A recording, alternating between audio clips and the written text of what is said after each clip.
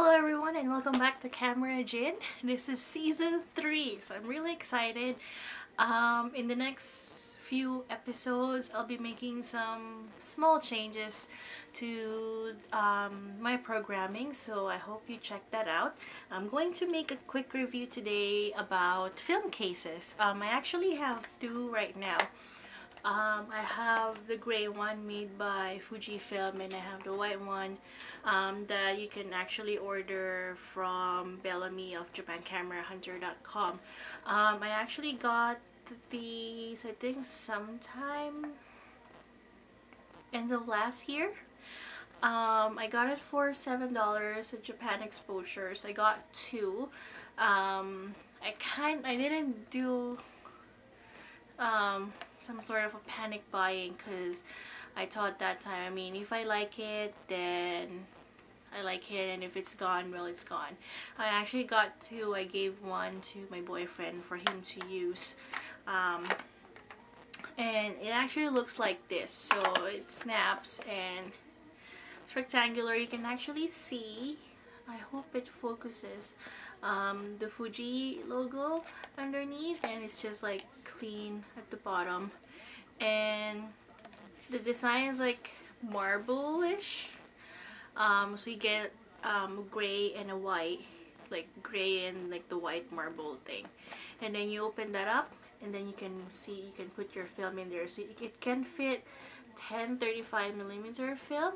Um, when I first got this case um, I actually put um, my black and whites in here because I actually don't have a lot um, in as much as I develop a lot of black and whites um, films at home.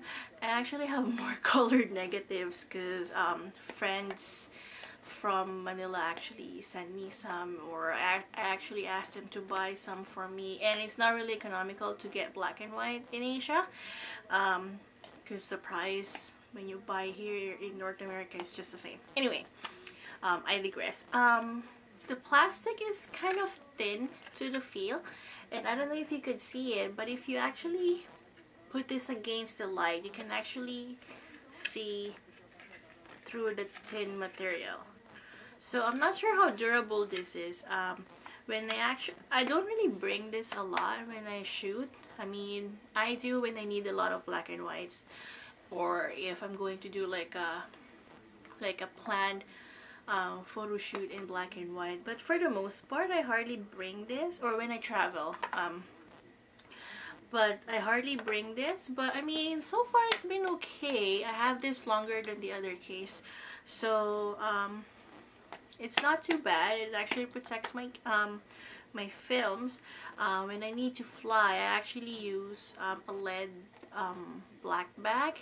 And then it will put everything in a ziploc and then put it in a lead black bag and then put it um, some of them in my suitcase and some of them in my hand carry. But anyway um, so that's that. Um, now this Christmas I actually got um, the Japan Camera Hunter film case because the Fuji one is actually discontinued as well as the 121 um, so um, when I because I follow Japan Camera Hunter on his Twitter and I follow his blog so uh, when I heard that there's a launch I'm like oh I'm gonna buy it as soon as possible so um, I ended up getting three because um, I gave the other two as gifts this Christmas uh, one thing I've noticed is that um, the plastic feels a lot sturdier than the Fuji one and even though it's white uh, when I put it um, against the light. I mean, obviously you can't see it right now,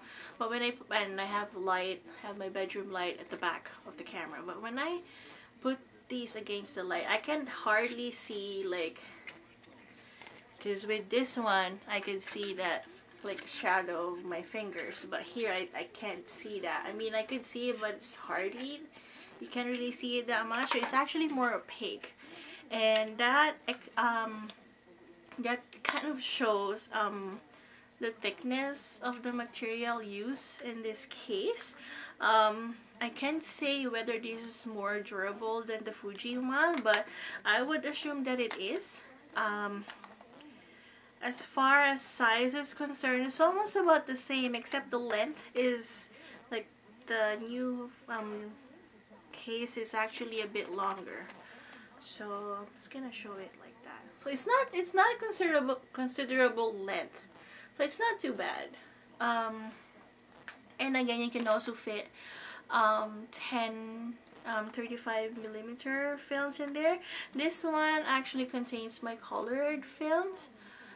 So now you can see that and slide films as well. Um, compared to the Fuji one, um, the logo, like the Japan Camera Hunter logo, is actually at the bottom and the Made in Japan is at the bottom as well. And um, both of my film cases have the Buy Film not megapixel stickers because I thought it was kind of cute. Um, both um, cases you can actually customize them whatever you want to put on top of them. Um, aside from the Buy Film stickers, I also have the Impossible film stickers because I got that when I went to New York. Um, is so I guess the next question would be is one better than the other? Um, I can't say at the moment um, just because I haven't used this um, on a field like shooting outside and then carrying my case because once I got these it was um, late November and at this time of the year I don't really go out and shoot because it's too cold and it gets really busy. Um, but I kept these in my mom's fridge because uh, my film fridge can't fit any more films. Um, but both films act uh, both film cases I think they do the job for me at the moment. Um, although I think with this one it might it, it like what I said because of the how it was construct constructed and the materials it might be a bit more durable but again I can't pass on that judgment that yet until I actually use this like say when I go out and travel or whatever. So anyway um so yeah like if you happen to be interested in like um, finding places for your films whether you shoot a lot or whether you just need a small container to store them in your fridge um, I suggest to get one of these film cases. Um, at the moment I don't use these for um, shooting outside.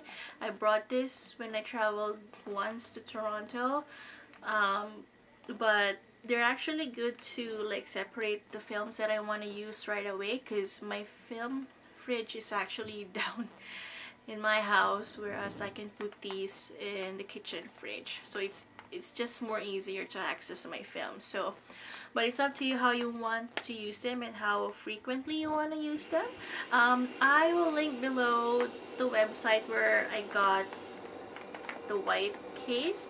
Um, if you haven't visited um, Japan Camera Hunter I suggest that you do so just because they um, he has a lot of these um, informative articles about like photo books, um, photo walks, like in your bags, um, and some other reviews and events that's going on in regards to photography. So um, thank you so much for watching and I hope to see you guys soon. Bye bye.